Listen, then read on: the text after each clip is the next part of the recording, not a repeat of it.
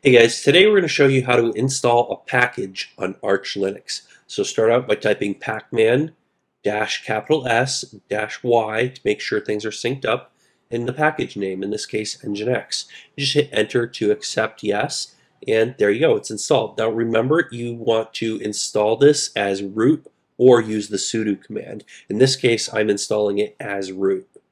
Now we're also going to run pacman-qe just to query the installed packages and we are going to grep for the name of our package just to verify that it was in fact installed. And you can see there Nginx version 1.26.1-1 was installed. And there you have it.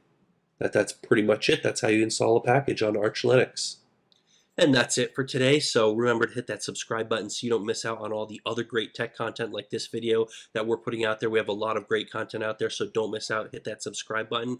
That's it for today. Thanks for watching, and we'll see you guys on that next video.